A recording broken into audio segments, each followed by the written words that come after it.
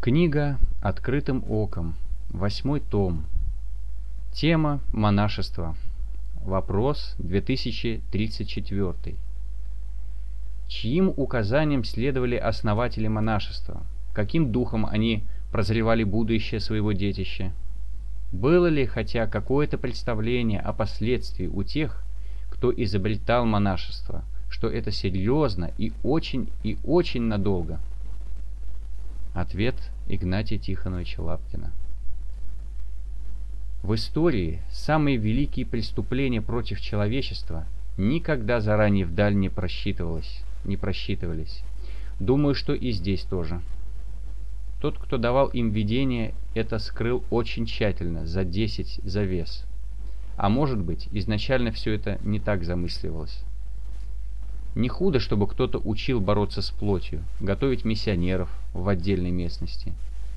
У католиков, слышал, каждый священник должен недели две в году побыть в отдельной келье. Обдумать все. Это как раз и нужно сегодня нам всем. Сегодня строятся две башни. Проповедь и молчание. Над кем будут смеяться? Евангелие от Луки, 14 глава, 28 по 30 стихи. «Ибо кто из вас, желая построить башню, не сядет прежде и не вычислит издержек?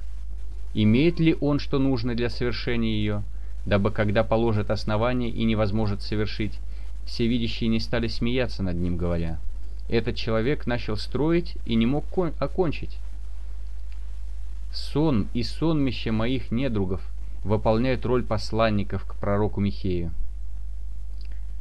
Третья книга царств, 22 глава, 13 по 14 стихи. Посланный, который пошел позвать Михея, говорил ему, «Вот, речи пророков единогласно предвещают царю доброе. Пусть бы и твое слово было согласно со словом каждого из них. Изреки и ты доброе». И сказал Михей, «Жив Господь! Я изреку то, что скажет мне Господь». Эти посланные пишут и умоляют, пусть бы и твое слово было согласно с словом каждого из них. Чтобы сказал и я, что монашество сам Господь основал, и что оно божественное, бессмертное, и на нем, и на нем, где все христианство стояло и стоит, и будет стоять. Но мой Бог не позволяет мне сказать так, и я твержу день и ночь, жив Господь, я изреку то, что скажет мне Господь. Варлаам Печерский, 19 ноября. Кавычки открываются. Отец сжалился над сыном, и, боясь, как бы он не умер от голода и холода, призвал его и с любовью поцеловав, отпустил в пещеру. И произошло тогда нечто весьма удивительное. Послышались в доме рыдания и вопли, как по мертвеце. Плакали все, отец с матерью о том, что лишаются сына, невеста о том, что разлучается с женихом, рабы и рабыни о том, что погибает их добрый господин. А святой Варлаам, как птица, выросшая из сети, выросшаяся из сети, быстро направился к пещере, Находившиеся в ней иноки всем сердцем обрадовались, увидя Варлаама, и прославили Бога, услышавшего их молитву о нем. Кавычки закрыты. Феодосий Черниговский, 5 февраля. Кавычки открываются. Отец Феодосия по имени Никита был священником в Малороссии. Мать называлась Марию. Родители воспитывали своего сына в страхе Божьем и христианском благочестии.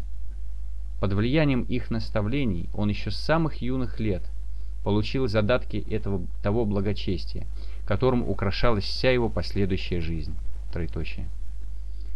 Здесь под влиянием и руководством благочестивых наставников, упражняясь в изучении священного писания и святоотеческих творений, святой стремился по ним устроять и свою жизнь принял монашество, к чему еще в школе стремилась пламенно жаждавшая духовных подвигов душа его.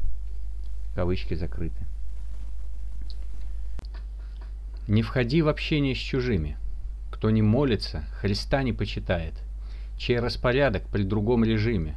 кто с наколками, их по утрам шатает. Не зови их что-то вам простроить, крышу перекрыть, полы помыть.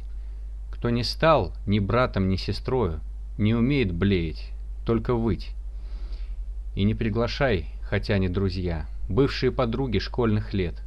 Сотни раз скажи «нельзя, нельзя, нельзя». Так легко с заразой околеть. В дом их не вводи, свою усадьбу крепко сколько можешь огради. Не послушаешь, потом хотя и рад бы, не поможет и большой кредит. Разорви, отрежь и опали то, что вопреки священного писания. Не послушаешь, не соберешь улик, чтобы вернуть похищенное псами. Если ты действительно овца, если ты в атаре Назарейской, что ж тебя к ним тянет без конца? Хоть вам кол на голове тиши и тресни. Все ты жмешься к этому отродью и лопочешь, подвываешь им. Встречи тайные и даже при народе, с жаждой, как паломники идут в Иерусалим. Значит, ты такая, ты такой же, только с камуфляжем, с мимикрией. Ты же эфиоп с чугунной кожей, под овечьей шкурой волк прикрытый. Завтрашним не следует хвалиться. Старый, мол, связи разорву. Сорваны все двери и калитки, а светильник гаснущий ворву. 22 сентября 2003 год. Игнатий Лапкин.